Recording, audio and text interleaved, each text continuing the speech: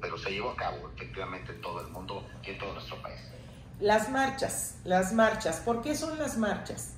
Por, las marchas en todo el mundo tienen un objetivo, Carlos, y el objetivo es hacer visible, salir a las calles y que todo mundo se entere de cuáles son las demandas de las mujeres, visibilizar que todavía hay mucho camino por hacer y cuáles son las cosas que necesitamos y cuáles son las cosas que pedimos.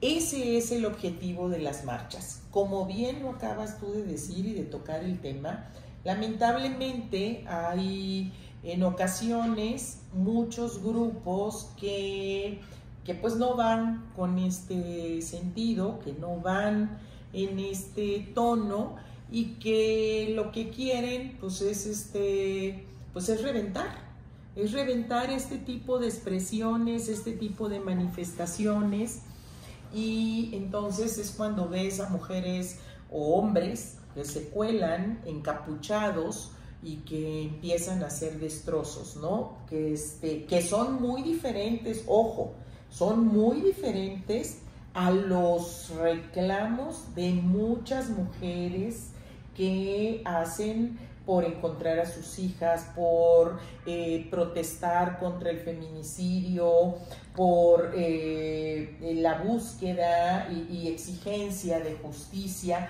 O sea que es muy diferente a, a que son las causas reales y las causas que nos motivan a estas, pues estos grupos, ¿no? Pero bueno, como en toda democracia y como en todo lugar, adelante con la libre manifestación, siempre y cuando, al menos yo en lo personal, creo que siempre y cuando tratemos de evitar siempre la violencia. Siempre hemos hablado de que no a la violencia, no a la violencia, no a la violencia.